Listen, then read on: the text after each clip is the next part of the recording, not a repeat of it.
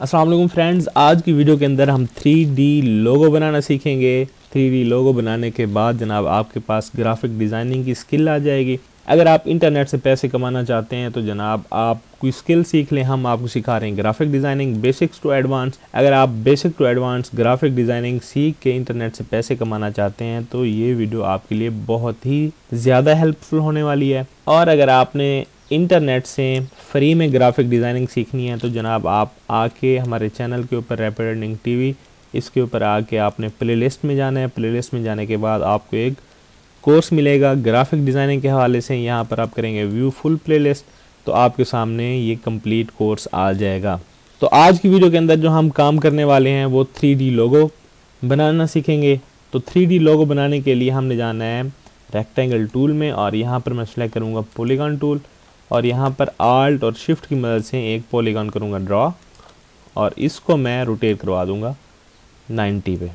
और दोबारा selection tool की मदद से इसको करूँगा सिलेक्ट और सिलेक्ट करने के बाद आल्ट प्रेस करके इसकी एक मैं यहाँ से लूँगा कॉपी कॉपी लेने के बाद इसको फिर से मैं रोटेट करा दूँगा 270 पे या ज़ीरो डिग्री पे। अब इसको नीचे ले आऊँगा मैं यहाँ पर, और मैं अपना जो कैनवास है उसको बड़ा कर देता हूँ। आल्ट प्रेस करके माउस का जो व्हील है, उसको ऊपर की तरफ़ ड्रैग करूँगा तो ये यहाँ से बड़ा हो जाएगा। अब इसको मैं करता हूँ सिलेक्ट और इसको मैं इस कॉर्नर के साथ आके मिला के रख देता हूँ। अब इसी की मैं कॉपी लेता हूँ दोबारा। आल प्रेस करके इसकी कॉपी लेके दूसरा कॉर्नर यहाँ पर मैं मिला दूँगा। अब ये चेक करने के लिए कि तीनों जो कॉर्नर हैं, एक ही पॉइंट के ऊपर हैं या नहीं तो कंट्रोल वाई प्रेस करेंगे तो वायर फ्रेम में आ जाएँगे। और आल्ट प्रेस करके इसको हम करेंगे बड़ा तो ये देखें ये तीनों एक लाइन पे नहीं है। तो हम क्या करेंगे? इसको पकड़ के इसके ऊपर ले आएँगे और इस वाले कॉर्नर को भी यहाँ पर आके इकट्ठा इनको मिला देंगे। थोड़ा और बड़ा थोड़ा और इसको बड़ा कर लें ताकि आपको सही तरीके से एक जगह पर तीनों पॉइंट मीट करते हुए नज़र आए। इसके बाद आपने इसको आल प्रेस करके जो व्हील है, उसको पीछे की तरफ़ ड्रैग करेंगे तो ये छोटा हो जाएगा। फिर दोबारा कंट्रोल वेब प्रेस करेंगे तो दोबारा आप ओरिजिनल कैनवस पे आ जाएँगे।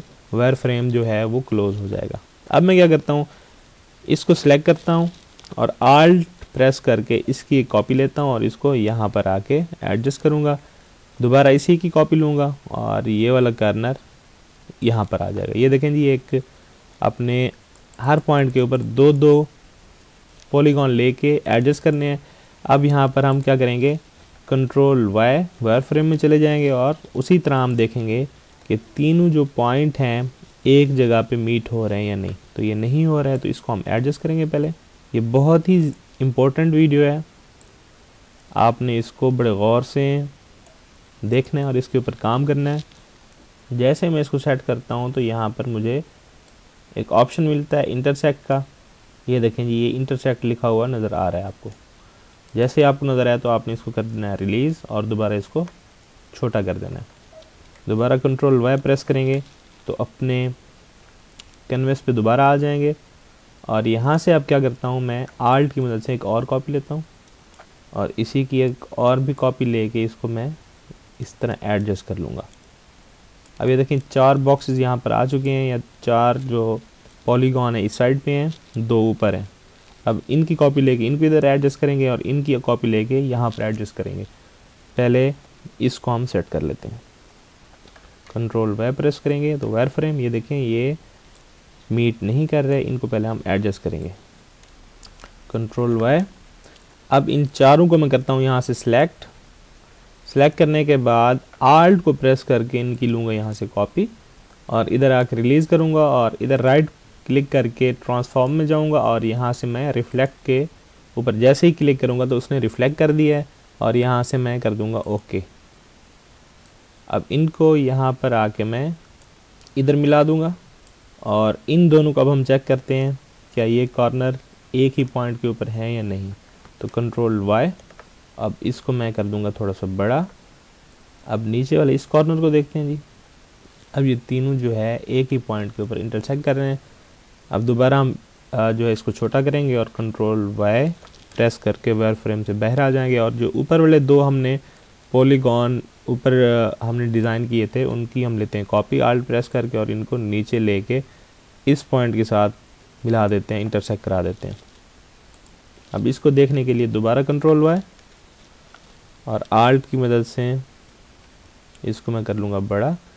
तो ये तीनों जो है एक ही पॉइंट के ऊपर आपको नज़र आ रहे हैं।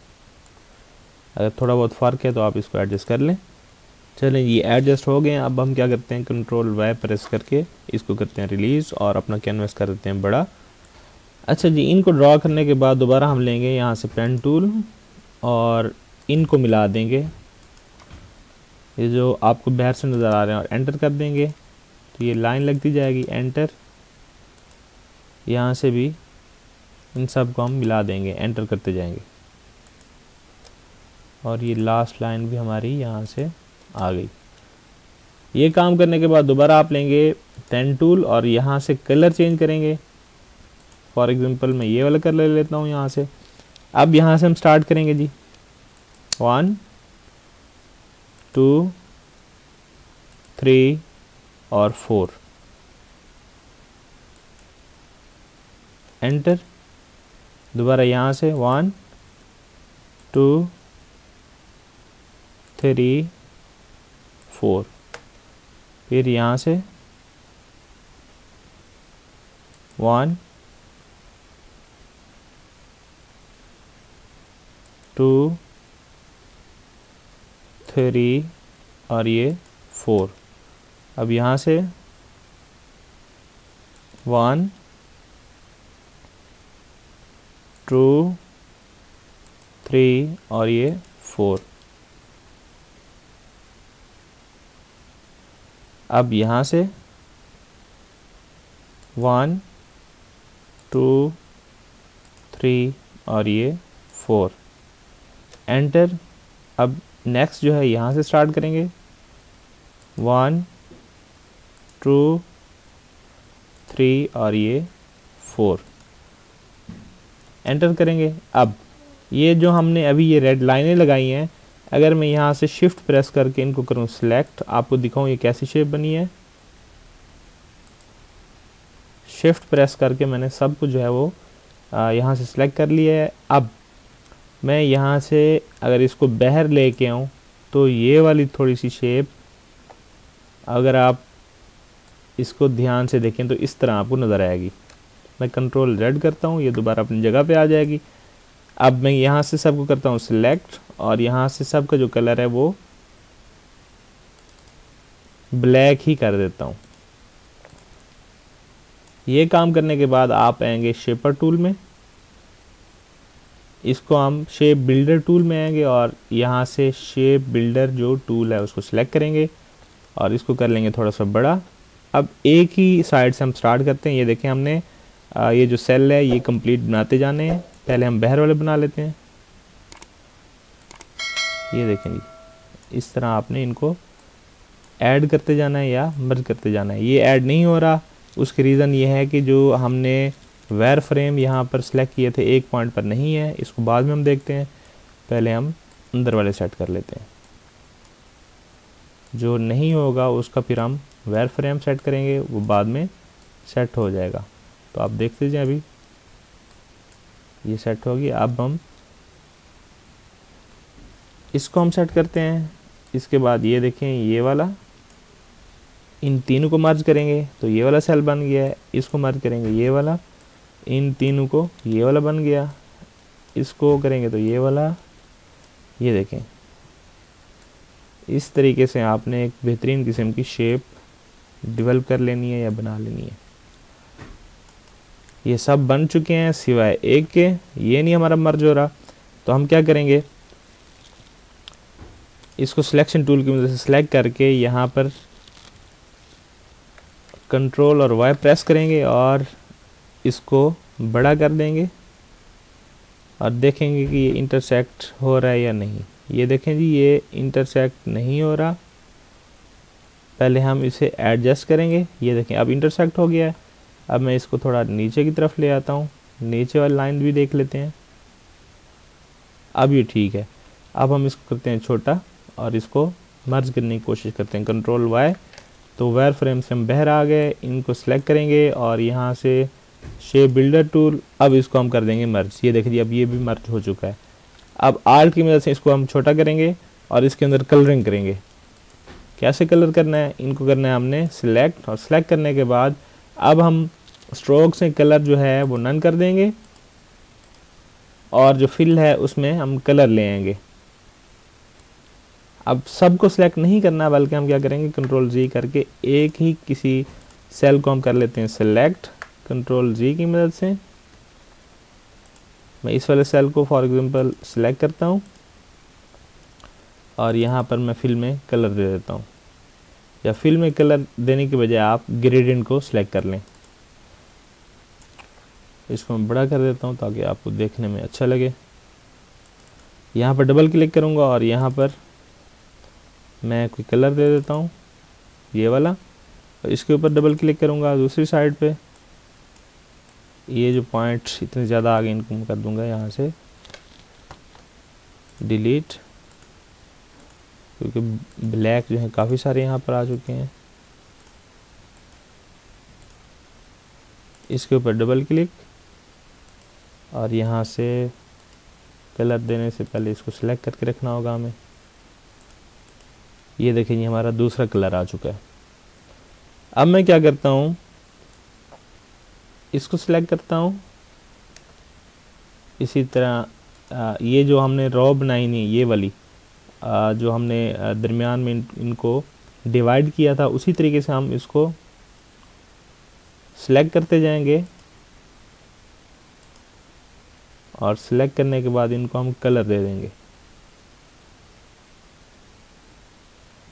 ये सिलेक्ट मैंने शिफ्ट की मदद से सिलेक्ट किया हुआ है और यहाँ पर मैं पेन टूल की मदद से जैसे ही आई ड्रॉपर टूल की मदद से इसको क्लिक करूँगा तो ये कलरिंग आ जाएगी इसमें।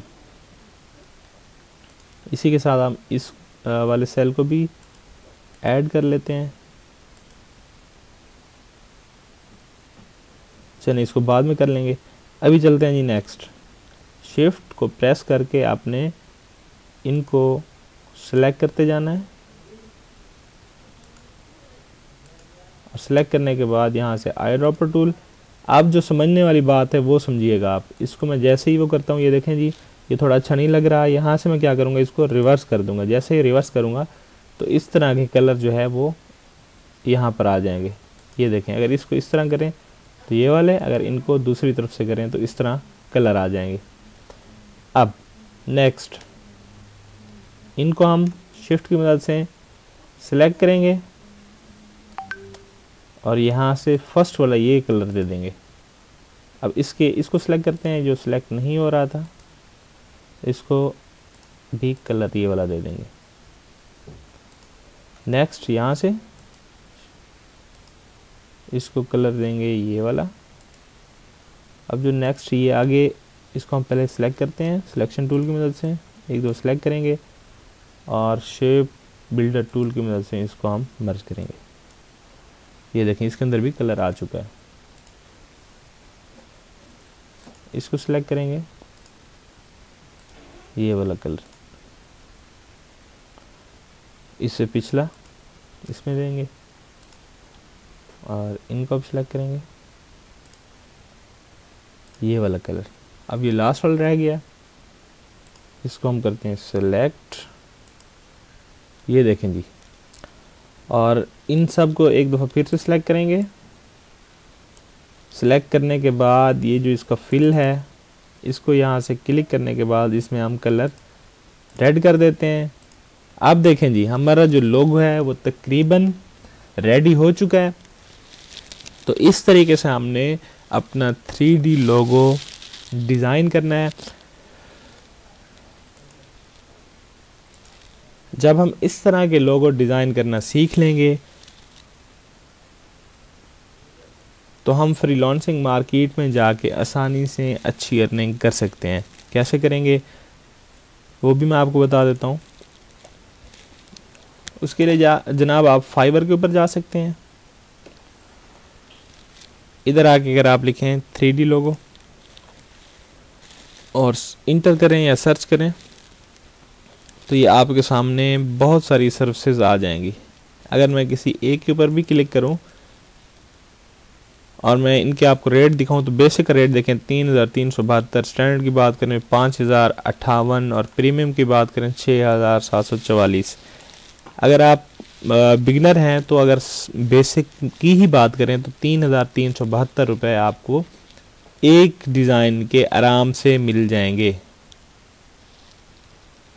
अब ये साथ में क्या कर रहे हैं? क्रिएट थ्री डी लोगो और एनिमेशन वीडियो बना के दे रहे हैं। हमने सिर्फ़ देखना है लोगो वाला। अगर मैं इसके ऊपर क्लिक करूँ इस वाली गिग के ऊपर तो बेशक इनका जो रेट है वो आठ हज़ार चार सौ तीस रुपये ये देखें हाई रेटेड है और सोलह हज़ार इनका रेट है। लेकिन हम आ, क्या करते हैं एक छोटा कम रेट वाला देख लेते हैं कि लोगो। इनकी अगर गिग को मैं चेक करूँ बेसिक इनका देखें। I will craft standing three D logo with free copyrights in twenty four hours basic इनका रेट सोलह सौ छियासी स्टैंडर्ड की बात करें तीन हज़ार तीन सौ बहत्तर और प्रीमियम की बात करें तो छः हज़ार सात सौ चवालीस रुपये अगर आप बेसिक में ही बेचें तो आपका एक डिज़ाइन सोलह सौ छियासी रुपये का बिकेगा। तो आप इस तरह एक लोगो बेचकर सोलह सौ छियासी रुपये कमा सकते हैं। इसी तरह आप अपर के ऊपर जाके सेल कर सकते हैं। गुरु डॉट कॉम है फ्रीलॉन्सर डॉट कॉम है। तो बहुत सारे प्लेटफॉर्म है, लेकिन उससे पहले आपने ये काम सीखना है, तब जाके आपकी अर्निंग होगी। तो फ्रेंड्स आई होप सो ये वीडियो आपको पसंद आएगी। वीडियो को पसंद आने की सूरत में वीडियो को लाइक ज़रूर कर दें, और आपने अगर अभी तक चैनल को सब्सक्राइब नहीं किया तो चैनल को भी सब्सक्राइब कर दें, ताकि इस तरह के रियल कंटेंट आप तक पहुँचते रहें। अपना बहुत सारा ख्याल रखिएगा, मिलते हैं नेक्स्ट वीडियो में, तब तक के लिए अल्लाह हाफिज़।